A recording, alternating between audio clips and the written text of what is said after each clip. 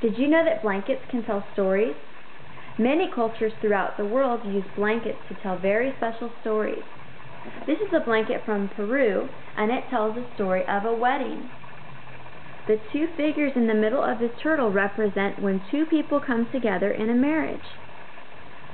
This is much like Jacqueline Woodson's special book, Show Way, which tells about the quilts that slaves used to make to give them directions to freedom. In this book, a character named Soonie creates special show ways, and the slaves are talking about them. And at night she sewed stars and moons and roads, tiny pieces of stars and moons and roads. Slaves whispered what no one was allowed to say, that Mathis knew how to make a show way.